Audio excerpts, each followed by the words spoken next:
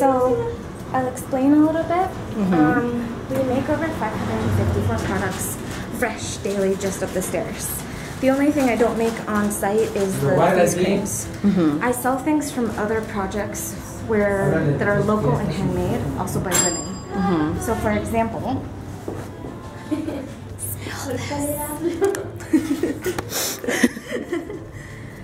Um, The Lavender Project is a project on the way here to Dolores, and it's just women who make the soap. They're the only like rancho in Bajío that actually makes uh, organic lavender essential oil. Wow. And every year we develop new products. So, for example, I developed this one. Nice. Um, it's called a chocolate face mask, and it's aloe vera, um, cacao butter, and chocolate essential oil. And it smells amazing. It looks like pudding. Oh my god. Smells like pudding. Oh my god. Like I want to eat it right now. It does kind of taste like chocolate. it's so amazing. Um, but I also carry things like Bach flowers and homeopathy and baby products and essential oils and sprays, massage oils, jewelry, baby stuff. So there's something here for everyone. Yes, I don't have a really strong men line, but I'm working on it.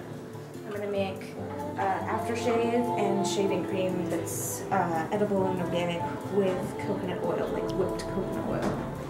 That's what we're working on now. Nice. So I do most of the packaging. Um, so cute. I love it. so yeah, So if you're ever in San Miguel, what's the address here? it's Hernandez Macias, number 72, across the street from Mayor Sartres. Papayón. So guys, please, the smell here is incredible. La Victoriana. La Victoriana.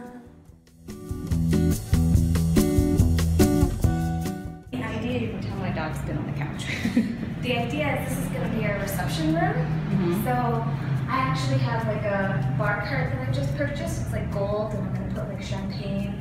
And my customers will be able to sit with not the dog paws and watch some of our videos. Uh-huh. And I'll have like champagne and cookies and whatnot to receive brides and groom. Right. And then over here, this room can be completely blacked out and I can control actual studio like shoots here. So I do photography and video. Nice. And then over here, this is my bar area. Oh, and so chic. I'm gonna put like cups and like have a shelf with like tea. Mhm. And I bought these at the market. And I was gonna put them on the walls because they're like Ah. gorgeous. I love them. My Airbnb has butterflies on the wall.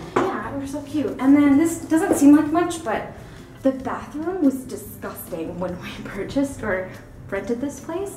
So we renovated the whole thing. It's like really nice. I'm really proud of my bathroom. It's so welcoming. Uh, this is where I edit. This is where the magic happens. Yeah, and my dog likes to just on the couch and find very. Um, but yes. So I have a little couching area sort of where I can edit in my fancy chair. and then my clients can sit behind me and I edit on these two screens. Mm-hmm. And then this is still also in the works because we need curtains. We just moved all of our equipment here, but eventually it's going to be like really nicely organized. And Nick works on his computers over here. So this is technically the tech guy, and that's Barros Productions.